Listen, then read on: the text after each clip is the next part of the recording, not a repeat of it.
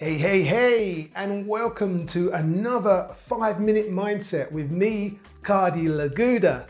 And in today's five minute mindset session, we're gonna talk about procrastination.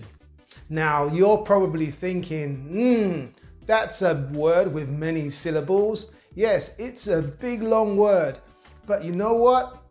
As for as long as it takes you to say it, people take a hell of a lot longer to do stuff. Let me explain.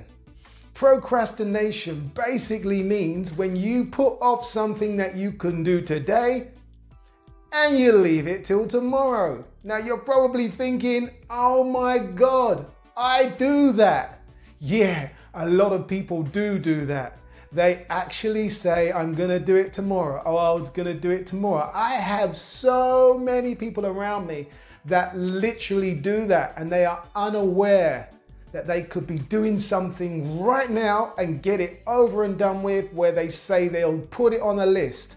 What are you making a list for? Oh my goodness. If it's something that can be done now, do it now.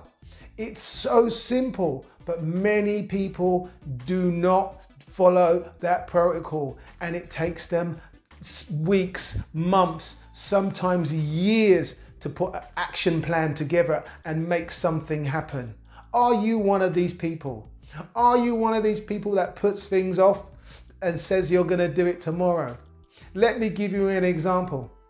There are so many people out there that would say, "Oh, you know what? Um, yeah, yeah, I'm going to um, pick up my friend from the station and um, but but she's coming tomorrow, so that will be great. So what I'm gonna have to do is I'm gonna have to put off what I'm doing today um, to do the day after she leaves, and they complicate the hell out of their life because they start moving stuff around that really has got no bearing on what they're trying to achieve. They're all over the place. They start to put things back when you can be doing it right now. Have you got something right now that you can do?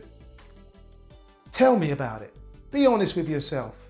Have you got something that you can do today that you're putting it out? You're putting it back. You're putting it out. You're putting it back. You're putting it out. You're not doing it. We need you to do it. People, come on, wake up. Wake, wakey, wakey, wakey, wakey. If there is something that you can do now, do it now. Don't put it off. What are you waiting for? Your life is amazing. You can achieve so much if you just do it. And nine out of 10 times, the thing that you're putting off can be done within minutes. What are you waiting for? Have you got a business that you want to start?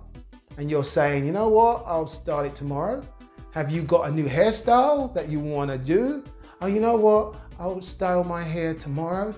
Have you got um, um, some kind of expectation for your child? Oh no, poor little Henry, we'll do it tomorrow. Come on, let's do it now. If you feel you have the inspiration to do something now, don't put it off. Go and do it. This is your exercise. I want you to take a piece of paper and a pen, and I want you to write down three things on your piece of paper and pen Three things that you can do today.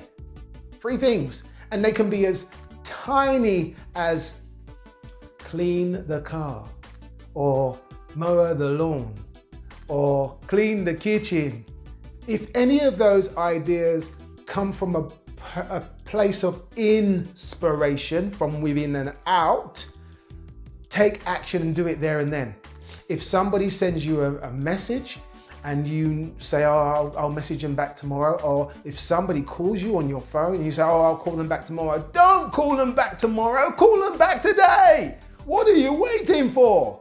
You've got to get this out of your system. The people that actually get to their goal actually take action.